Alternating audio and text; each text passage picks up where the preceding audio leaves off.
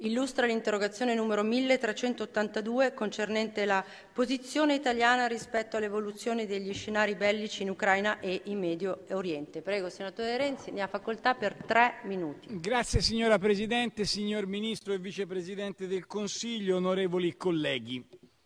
La nostra interrogazione, signor Vicepresidente del Consiglio, è molto semplice.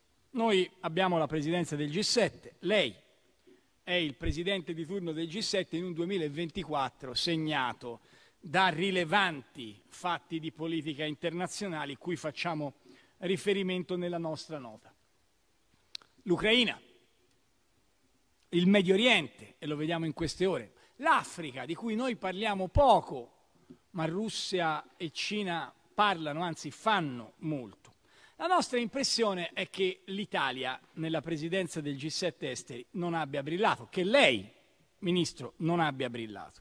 Non ricordiamo una idea, una proposta che sotto la sua presidenza, in questo 2024 così complesso, abbiamo, non dico portato a casa, ma neanche messo sul tavolo. Lei sull'Ucraina è l'unico Ministro degli esteri del G7 che ha avuto una posizione diversa dagli altri. Medio Oriente c'è stato meno di tutti gli altri suoi colleghi ministri, dell'Africa persino la Meloni c'è stata più di lei, ha fatto la ministra di Interim. Allora io le chiederei per una volta se, senza leggere la nota degli uffici, lei riesce a dirmi un'idea su cui pensiamo di caratterizzare il G7 da qui alla fine dell'anno e, già che ho ancora 20 secondi, siccome lei è stato molto bravo secondo me nel mese di agosto a porre un tema che sulla politica estera rileva il giusto, ma sulla politica interna come vicepresidente lei ha messo in campo, cioè lo Ius Scole, e noi siamo d'accordo con lei, se dobbiamo credere al Tajani di agosto che è per il sì allo Ius Scole o alla versione aggiornata del Tajani di settembre che è per il sì a Salvini e Meloni e per il no allo Ius Scole. Così almeno capiamo di cosa si è occupato in questi mesi il Vicepresidente del Consiglio e il Ministro degli Esteri. La ringrazio molto. Il Ministro degli Esteri e della Cooperazione Internazionale, l'onorevole Antonio Tajani, risponde all'interrogazione illustrata per tre minuti. Prego, Ministro. Grazie, signor Presidente. Mi permetta di rispondere soltanto alla prima parte perché non è questo il luogo di fare un dibattito sul diritto di cittadinanza si farà in altri luoghi, ma mi sembra che si debba dare una risposta agli interroganti sulla questione della politica internazionale e non su quanto riguarda la politica interna. Si è chiesto come siamo collocati. A livello internazionale la posizione del Governo è chiara e inequivocabile. Europeismo e atlantismo sono le stelle polari della nostra politica estera. L'appartenenza all'Unione Europea, l'Alleanza Atlantica e il rapporto di forte amicizia con gli Stati Uniti sono la base di tutte le nostre scelte strategiche e guidano la nostra azione di fronte alle principali sfide che stiamo affrontando in questa fase storica particolarmente complessa. Il nostro Governo può rivendicare con orgoglio di essere sempre stato in prima linea al fianco dell'Ucraina. Il sostegno a Kiev, alla sua libertà, indipendenza e sovranità è pieno e incondizionato. Proprio in quest'ottica ho voluto copresiedere a New York, eh, onorevole interrogante, con il segretario di Stato Blinken, il nuovo ministro degli esteri Sibia, una sessione speciale del G7 a sostegno del settore energetico ucraino. Abbiamo concordato una serie di ulteriori misure a sostegno della popolazione civile per far fronte ai bisogni più immediati, anche in vista dell'arrivo dell'inverno. Ho valorizzato in tal senso i fondi stanziati dal Governo, il contributo delle aziende italiane e l'accordo che abbiamo concluso con la Banca europea per la ricostruzione e lo sviluppo, li ho firmati con il ministro precedente, prevedono stanziamento di 200 milioni di euro per ripristinare la capacità della principale società idroelettrica ucraina. Questo è stato fatto dalla Presidenza italiana del G7. Il disegno di legge di ratifica è stato approvato in Consiglio dei Ministri lo scorso 30 agosto ed è ora all'esame del Parlamento per quello che auspico sarà una rapida approvazione. Mi auguro anche con il sostegno dell'interrogante. In ambito G7 tutti hanno apprezzato l'impegno del governo italiano per la ricostruzione, come testimoniato anche dall'importante conferenza internazionale che ospiteremo nel 2025. Voglio annunciare sin d'ora che stiamo lavorando per coinvolgere il Parlamento in una specifica sessione dei lavori di questa conferenza.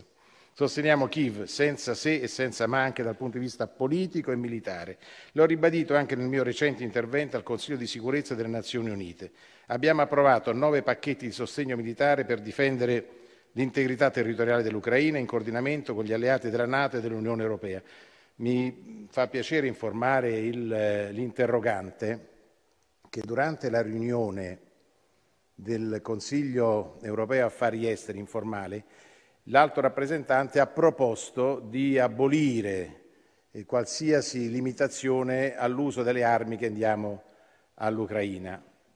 Il Consiglio affari esteri non ha approvato la proposta dell'alto rappresentante Borrell, quindi l'Italia non è assolutamente isolata e non risponde a verità ciò che lei ha detto.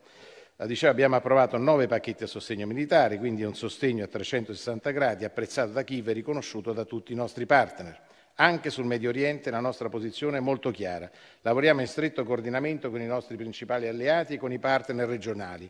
Gli obiettivi che ho ribadito anche ieri nella riunione del quintetto Stati Uniti, Germania, Francia, Gran Bretagna e Italia, cessate il fuoco a Gaza e in Libano, nuovi aiuti umanitari alla popolazione civile, ripresa di percorsi negoziali per la stabilizzazione del confine israelo-palestinese la nascita di uno Stato palestinese che riconosca Israele e sia riconosciuto da Israele.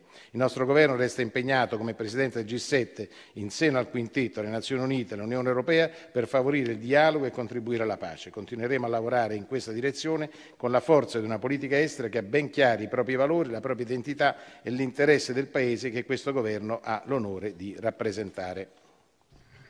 Grazie signor Ministro. Interviene in replica il senatore Renzi per due minuti.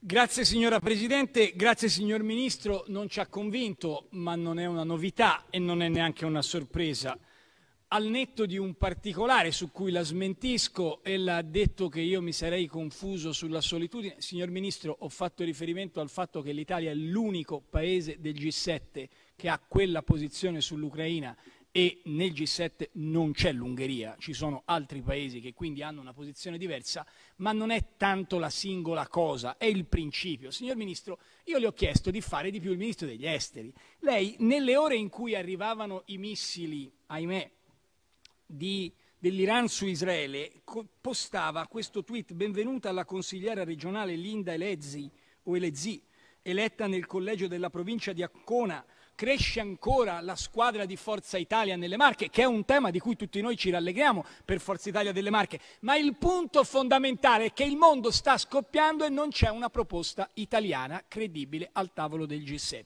Perché lei per andare a visitare l'Africa subsahariana probabilmente aspetterà che si apra una sezione di Forza Italia in Congo o in Namibia, così finalmente ci va, è l'unico che non c'è mai andato, ci manda la Meloni, meno male ci va la Meloni.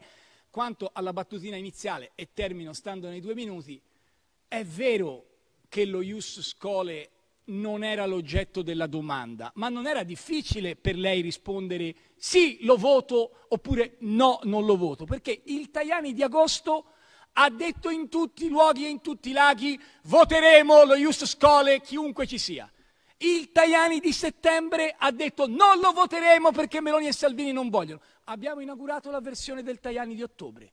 Non è il Tajani del sì di agosto, non è il Tajani del no di settembre, è il Tajani del boh. Buon ottobre anche a lei, signor Ministro.